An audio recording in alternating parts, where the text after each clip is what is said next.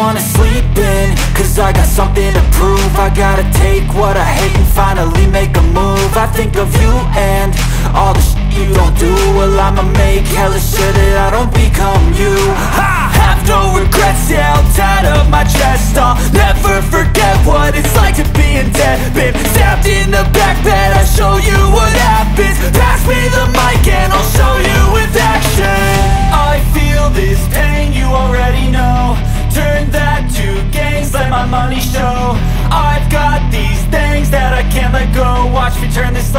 something that you can never own. I feel this pain, you already know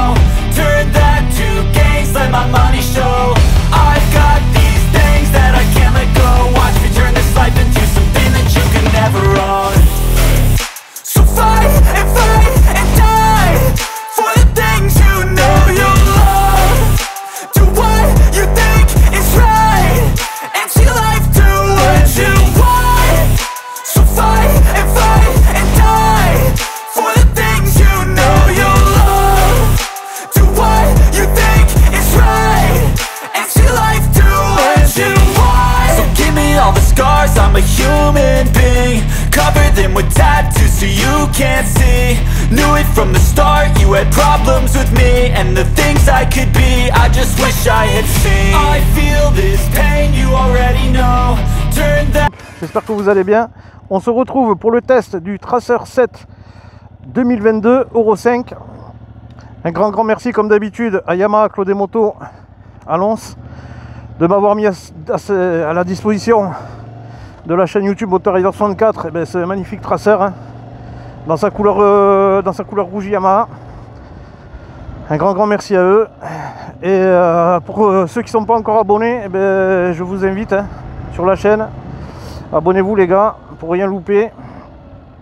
Donc ce traceur euh, 7 2022 euh, par rapport à l'ancien traceur 700 ben il n'y a pas grand changement hein. mis à part euh, le relifting de la de la face avant un nouvel autocollant sur le réservoir une euh, enfin on va dire que le moteur a été un peu retravaillé au niveau de l'injection on le connaît tous le CP2 donc euh, on va faire un petit tour vite fait de la moto là, des caractéristiques techniques. Et je vous reprends au guidon de ce magnifique Tracer 7 2022. A tout de suite l'équipe.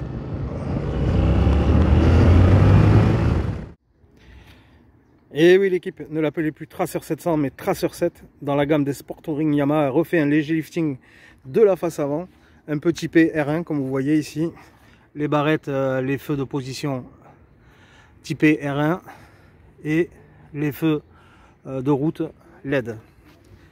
Son moteur bicylindre de 689 cm3 calé à 270 degrés euh, est l'un des plus appréciés chez les fans, hein, ça c'est vrai, il faut le dire. Euh, son moteur bénéficie de nouveaux paramètres d'injection et d'allumage avec ses 73,4 chevaux à 8750 tours minute et son couple de 69 Nm. C'est c'est un moteur qui est très très apprécié. Son rapport poids-puissance fait de ce Tracer 7 la plus légère de sa catégorie. Hein, c'est pas rien quand même. Le châssis léger de cette Tracer 7 est l'un des plus agiles. L'amortissement à l'arrière ici que vous voyez, qui est noir, hein, comme, le, euh, comme le cadre, comme la selle, est très belle hein, avec euh, cette couleur rouge. Ça fait bien ressortir le noir. Il est réglable cet amortisseur. Vous l'avez vu ici à la molette là. Tac, fourche, on conserve la fourche télescopique à l'avant avec un étrier double piston de chaque côté et un simple étrier de frein à l'arrière avec un grand disque. Au niveau du, du pneumatique, donc on est sur du pilote Rod 4 Michelin avec euh, des longues entailles pour bien que la pluie s'écoule sur le côté. Ça c'est cool aussi. Au niveau de l'avant, la bulle euh, est assez fine, euh, assez petite, elle est réglable manuellement. Il y a des protège-mains aussi qui sont très très bien insérés là. Avec le feu clignotant à LED, c'est très, très joli. La selle confort pour le passager et pour le pilote. Des poignées de maintien qui sont bien espacées. Vous voyez par rapport au cadre, ça c'est bien aussi. Et quant à l'arrière, un joli feu à l'arrière qui intègre bien la moto. Ça c'est vraiment sympa. Transmission par chaîne. Très belle finition, hein, ce cadre noir comme ça, il est très joli. Cette couleur rouge, elle est très jolie. Donc euh, Yamaha, ils n'ont pas été euh, très loin. Hein. Un relifting de la face avant, un changement d'autocollant, et voilà.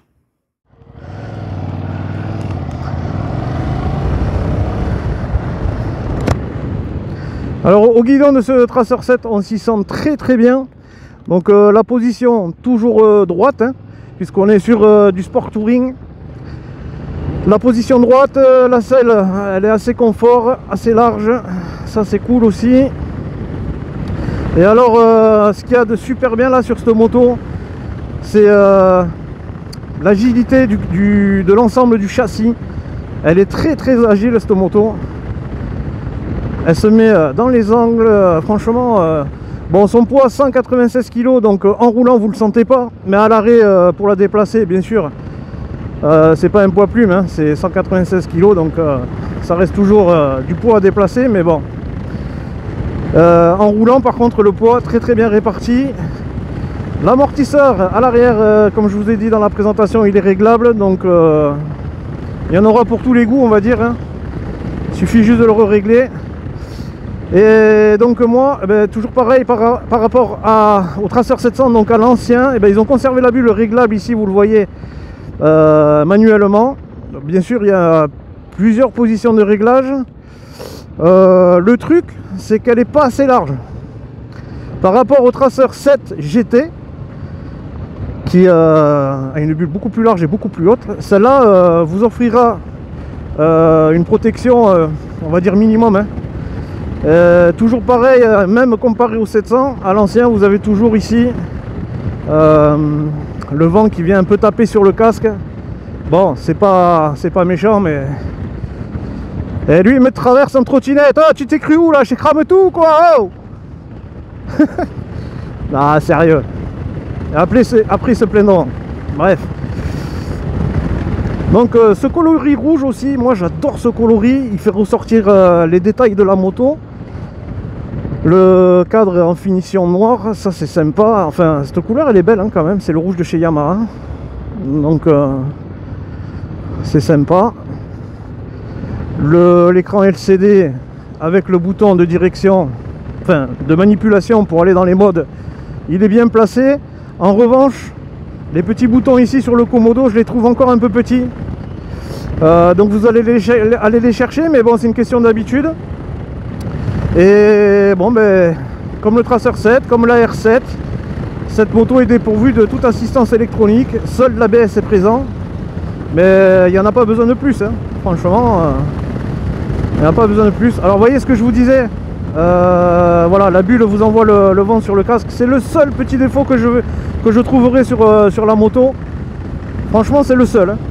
c'est le seul, et peut-être, allez, je vais chipoter un peu, mais L'échappement, euh, bon voilà, l'échappement il n'est pas joli, il faut être clair. Hein.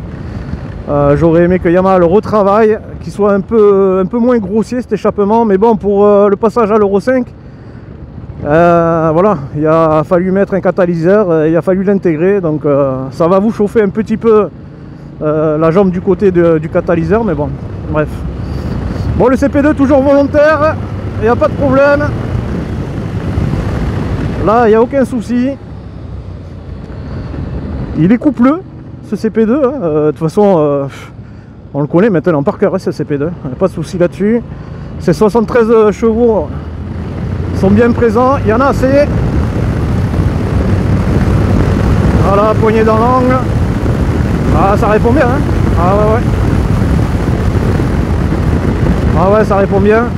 Les pneus Michelin au top. Ça reprend bien. Ça se faufile bien dans la circulation par contre, euh, ça génère euh, cette bulle, euh, on revient là-dessus, mais ça génère un peu des vibrations devant.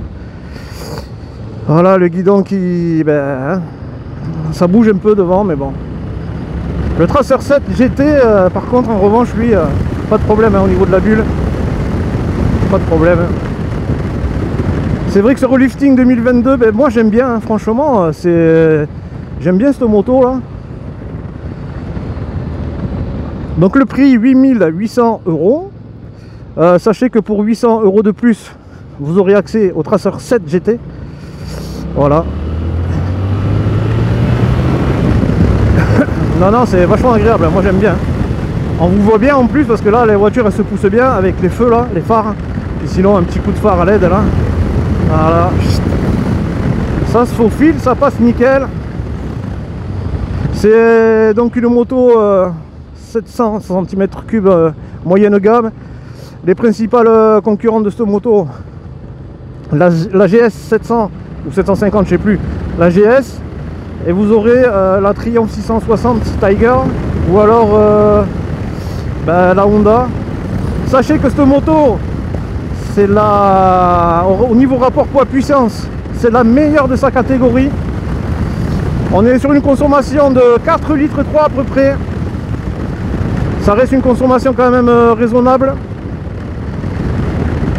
Parce que vu l'envolée des, tarifs de l'essence, euh, avant on regardait pas trop, mais là franchement on va regarder, hein. on va commencer à regarder parce que à 2 euros le litre. Euh, donc euh, les Michelin là, Road 4 là, super, hein, pas de soucis, hop là, ça tient bien le pavé.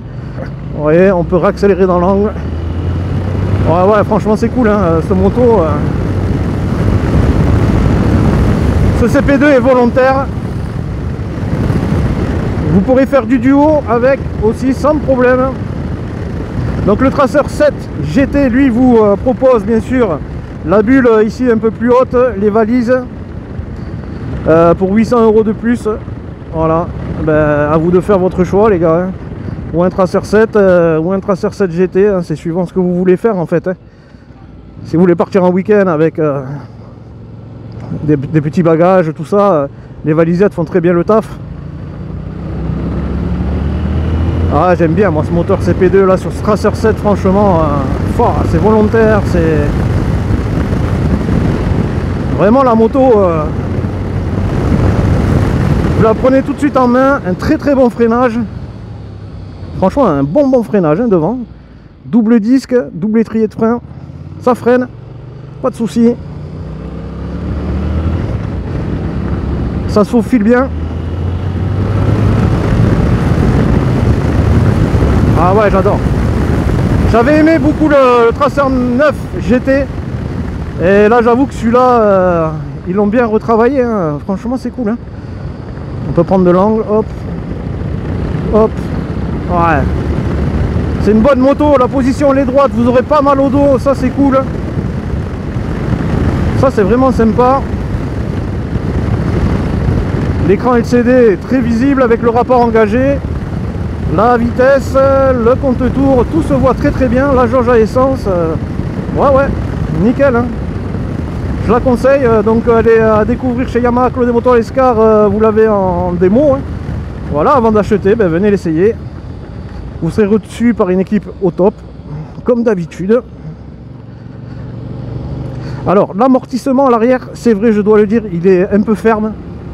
Mais l'ancien était ferme et celui-là ils ont gardé, ils ont conservé, il est ferme aussi. Voilà les gars, euh, les protections là devant au niveau des poignets.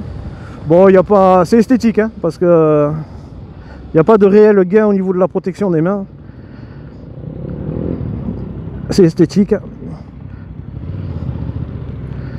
Non, non, il se, très, franchement très très bonne moto et moi je suis agréablement surpris par le, euh, comment dire, ça se faufile partout dans le trafic, ça c'est cool.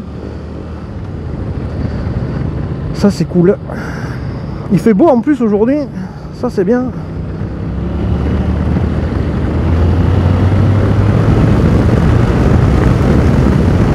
Ouais, ouais, ouais. Il répond super bien ce CP2, franchement. Hop là, on va ralentir un peu, mais... Euh, elle est même plaque les mêmes plaques de BA13 que j'avais fait la... Putain, elles sont encore là, j'avais fait le... La démo du R7, elles, sont encore là ces plaques. Et eh, franchement, la ville de Pau, oh, qu'est-ce que vous faites À part vous toucher le gnocchi là.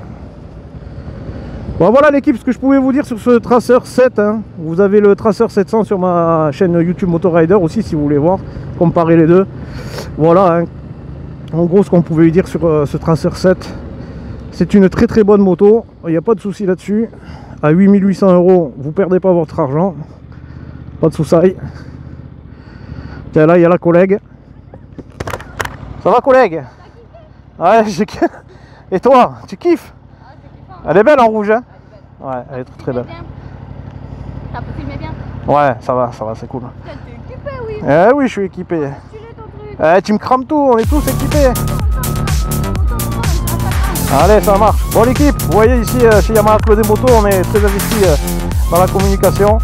Donc, je vous invite à vous abonner encore sur ma chaîne YouTube si c'est pas fait pour rien louper euh, de ce qui va arriver, notamment.